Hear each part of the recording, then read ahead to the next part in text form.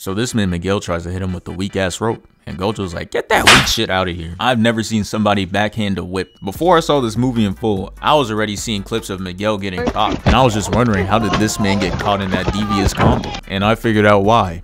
He is just simply not like that. The signs were showing when he was talking about that weak ass rope. Bro was sitting there talking about some, Do you know how many decades it took for Sorcerer Sweet just one rope? bro, cares? And that is not the flex you think it is. Sorcerer's putting decades of time and energy into some rope is crazy. So Gojo hears that and he's just like, Okay. Boom's a side character just sitting there. And here goes this anime shit, bro. I swear I see this in every show. Always starts off with, ah, so this is what I've been hearing about. And then they give them a clean and concise summary, and they always just be gazing at the character, bro. Is it not awkward? But get this. Why is this man talking about he can manipulate space and time? And then with that information, he proceeds to take a rooftop vent and throws it at him. Gojo like, no way you just tried throwing that stupid ass vent at me. And I know whoever owns that building mad as hell too.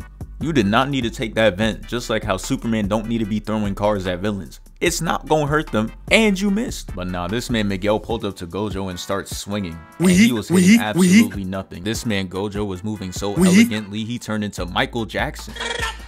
I'm not gonna lie, that was your time to get up and leave. The second he did that, you should have figured out he had no chance. Nah, cause it really looks like they're having the craziest dance battle right now, but this man is just weaving. So he spins away, hits him with the and Miguel's just like, oh nah, he knew it was up. Gojo gives this man the meanest three-piece combo I ever seen. Hits him with the gut punch, and I wouldn't have seen this unless I slowed it down. He really slapped him. That's an open hand. And nah, a slap stance like this is crazy. That's how you know he slapped the goofy out of him. And as if the slap wasn't embarrassing enough, this man turns around and kicks the shit out of him. I'm just looking at this frame wondering what the hell happened to him. Where is bro's head? And is a slap to kick combo not crazy? I have never seen anybody do that. That man Gojo different for that one. Can't even lie. But yeah, he sends him flying like 50 feet away and starts chasing him instantly. And at this point, I'm scared for Miguel because why is this man Gojo fiending? That man Miguel saw that Hall of Fame chase down is no joke. And then he puts curses in front of him to slow this man down. That boy Miguel not even trying to fight no more. He's just trying to survive. I feel him. But that shit doesn't work. And we just see this giant monster spawn in.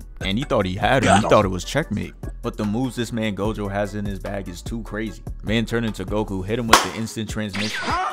And this right here is crazy. He could have really put this man on a t-shirt. Could have had a two for one deal, but let bro go. Now he trying to be Spider-Man, started running like how Miles Morales did in them trailers. My mans was out there swinging for his life. But then Gojo pulls up and is like, yo ass is not Spider-Man, sit your weak ass down. Crazy part is he's getting hit with the same moves as Miles Morales though. But Gojo had this man rock skipping on concrete. And look at how this man lands. Oh, nah. Just looking at that landing alone, I knew what was coming from Miguel. He starts it off with the kick. And then he hits him with the three-piece combo. And look at this, bruh. My man is straight up slapping him. This man just combined a front hand with a back hand. Oh, nah. And he's not done with the slaps either. Just look at this. Oh my goodness, I almost left. I should have never slowed this down. This shit was worse than I thought. But I gotta go over this last combo. He punches him with the left, and he's like, you know what? Hold one more slap. And then he sends bro off with a mean right hook. Just look at this man smiling, bruh. Oh, hell nah.